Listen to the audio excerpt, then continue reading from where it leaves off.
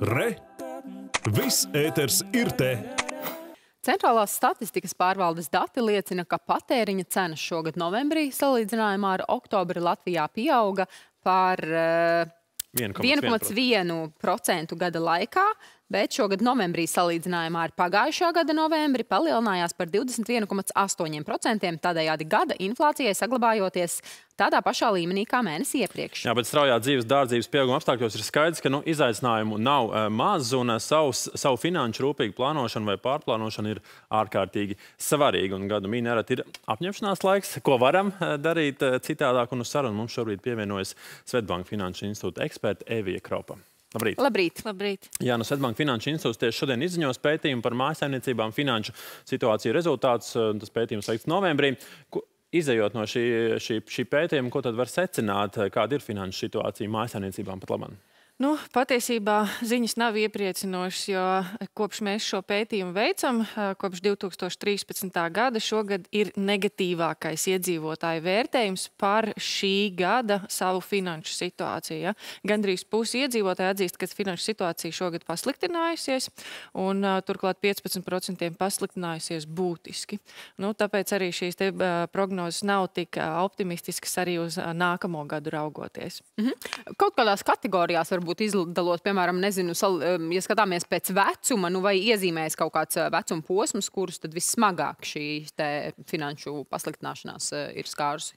Jā, es teiktu, ka tāda piesardzīgāka gan savā finanšu situācijas vērtējumā, gan eh, arī skats uz nākamo gadu, ir piesardzīgāks gados nu, tādiem vecākiem uh, cilvēkiem, 45. Plus, jā, jo var redzēt, ka līdz ar vecumu šis te, uh, negatīvais vērtējums pieaug.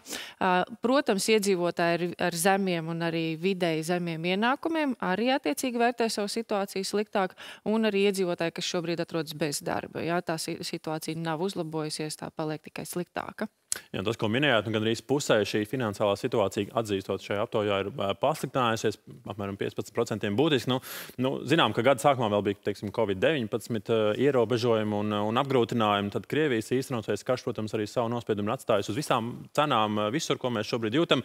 Nu, jāatcina, ka iedzīvotājiem ar vien grūtāk ir teiksim, laikam pielāgoties, jā, vai, tam, vai, vai kā, kā to varētu raksturot? Nu, pilnīgi noteikti jāatzīst, ka, nu, ka tā, tā faktu virknējums, ja to notikumu virknējums nav bijis pateicīgs jo, protams, vēl 2022. gada šo gadu sākumu mēs aizvadījām vēl tādā vīrusu ierobežojuma zīmē, vai ne?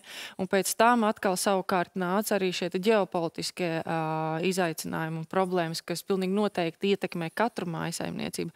Tā kā izaicinājumi ir gan daudz, bet tajā pat laikā jāatzīst, ka uh, šajā aptaujā mēs arī redzam ne tikai negatīvas lietas, jo mēs arī redzam, ka iedzīvotāji paši vērtē aptuveni pusi iedzīvotāji saka, jā, man finanšu situācija pasliktinājās, bet otra puse savukārt atzīst, ka tā nav mainījusies vai pat ir uzlabojusies. Ja? Tā kā ir divas teiksim, tādas frontes, ir daļa, kuriem ir grūtāk bijis šajos izaicinājumos pielāgoties, un ir daļa, kas ir spējuši pat savu finanšu situāciju uzlabot.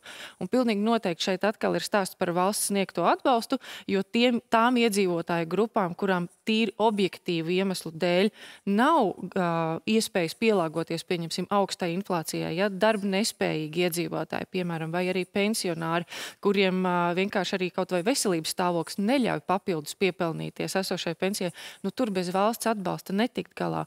Un to mēs arī redzam pašā aptaujā, ka daudzos faktoros, kurus mēs esam jautājuši iedzīvotājiem, viņi vērtē savu situācijas pasliktināšanos, kā dažādu izdevumu sfērā, tā jomā par savu darba stabilitāti, par uzkrājuma apjomiem, par spēju savilkt mēneša beigās galus kopā, nu, ja tā var izteikties. Mm -hmm. Tad tur ir negatīvi, bet mēreni pozitīvs vērtējums ir, ir divās galvenajās lietās. Mm -hmm. Valsts sniegtais atbalsts, Un to mēs redzam gan pandēmijas laikā, gan arī šobrīd uh, apkurses sezonas laikā. Kas arī turpinās. Jā, jā kas arī ir labā ziņa, kas mhm. nākamgad mm -hmm. turpinās. Un otra savukārt lieta, ko arī iedzīvotāji ir pozitīvi novērtējuši, ir šīs likumdošanas izmaiņas uz ienākumiem. Ja? Ir novērtējuši to, ka šogad ir lielāks diferencētais neapliekamais minimums un lielāks ģimenes valsts pabalsts. Šīs lietas tomēr iedzīvotāji ir sajutuši un arī vērtē pozitīvi. Mm -hmm. Bet ņemot vērā, protams, nu, īpaši runājot par to iedzīvotāju grupu, kuru tiešām, kā jūs sakāt, mēneša beigās redz, nu, ka tie izdevumi ir lielāki un savukārt ieņēmumi jau neaug. Vai ir kaut kādi tādi universālie padomi, nu, nu, kā prātīgāk rīkoties? Kā tās savas esošās finanses tomēr uzraudzīt, sadalīt pēc iespējas efektīvāk un prātīgāk šādā krīzes situācijā? Tas atslēgu vārds šajā gadījumā ir vispār uzraudzīt, jo, kā mēs zinām, tomēr liela daļa šķiet, nu, ja mēs pajautātu, vai jūs plānojat savu budžetu, aptuveni puse no aptaujātajiem pateiks, jā, es plānoju. Bet tad, kad es uzjautāšu otru jautājumu, kā tieši jūs plānojat, tad atkal vēl puse vismaz atbildēs aptuveni galvā. Un šeit man ir jāsaka godīgi, tā nav budžeta plānošana, nemelosim sev, citiem ja, un savai, savām naudas lietām. Īsta budžeta plānošana ir regulāra sekošana līdzi ar, ar regulāri sistemātiski izveidot kaut kādu nu, konceptu. Tas nav galvā, jo mēs ļoti daudz, kā daudzas lietas vienkārši aptuveni apzināmies, bet tad, kad mēs ieraugām reālo ainu, tā no tā, ko mēs aptuveni apzināmies, atšķirās. Nu, tad tas mans ieteikums būtu pirmām kārtām plānot un atrast sevī motivāciju to darīt. Ja tie nav augstie izdevumi un jau arī nu, teiksim, nespēja savilkt galus kopā, tad tā varētu būt gadu mija, ja, kad mums ir apņemšanās. Šī būtu lieliska apņemšanās sakārtot savas finanses, bet arī šeit man gribētos teikt, ka nu, tās finanses sakārtot, optimizēt izdevumus var līdz zināmai robežai, vai ne? Jo, jo, jo ja lieto tādu salīdzinājumu ar jostas savilkšanu, mm -hmm. katrs jostu var savilkt līdz zināmam līmenim. Tālāk jau pieņemsim, nav ko tur vilkt.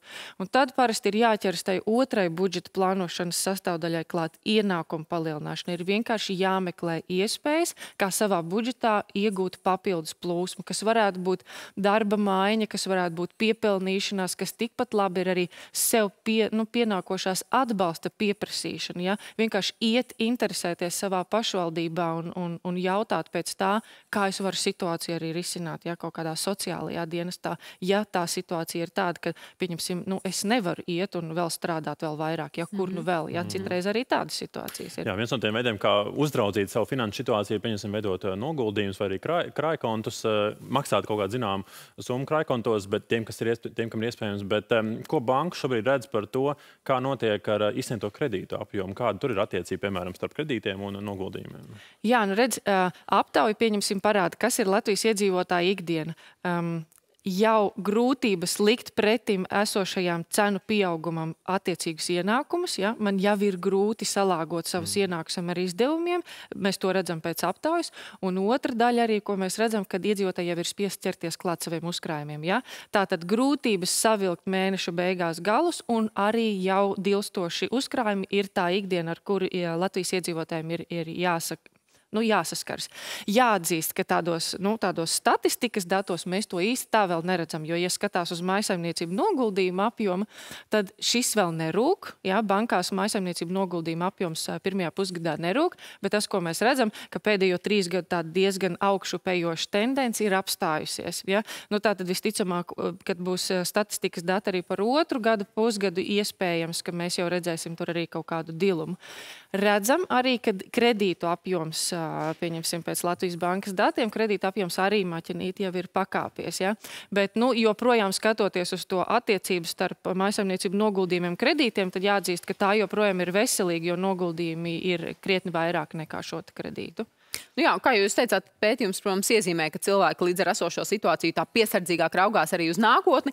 Bet kādas ir banku analītiķu prognozes tai nākotnē? Ko tad tas nākamais gads mūs nesīs? Cik ilgi tā josta tajā savilktajā režīmā būs jātur?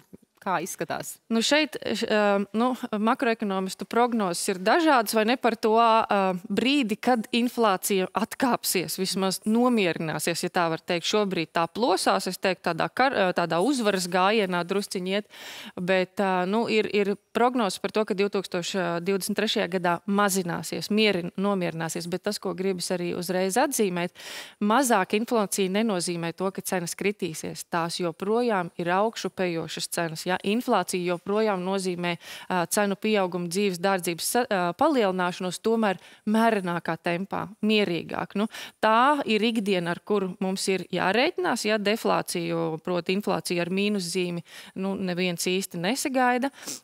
Izaicinājumu pietiekami daudz, bet tajā pat laikā arī jāatzīst, ka ir daži fakti, kuri jau šobrīd maisaimniecībām ir par labu. Proti, 2023. gads ir sagaidāms ar minimālās darba algas pieaugumu, joprojām joprojām iedzīvotāji var rēķināties arī apkurss sezonā, kā mēs jau arī minējām, par energoresursu sadārdzinājumu daļai kompensēšanu. Ir arī šādas tādas nianses par, par bērnu pabalstu, šo vecāku pabalstu izmaksu strādājušiem vecākiem, kas arī būs drusciņi maķinīt lielāks. Tā kā, nu, ir kaut kādas pozitīvas lietas, bet pilnīgi noteikti izaicinājumi joprojām mums saglabājas 23. gadā daudz. Izaicinājumu daudz, un, kā minēts, tas vārds uzraudzīt, jā, laikam, jā. ir atslēgas vārds. Tas ir mans novēlējums. Jā, tad arī uzraugām to. Paldies šorīt par sarunu. Paldies. Paldies. Svetbanka Finanšu institūta eksperta Evija Kropa. Šorīt pie mums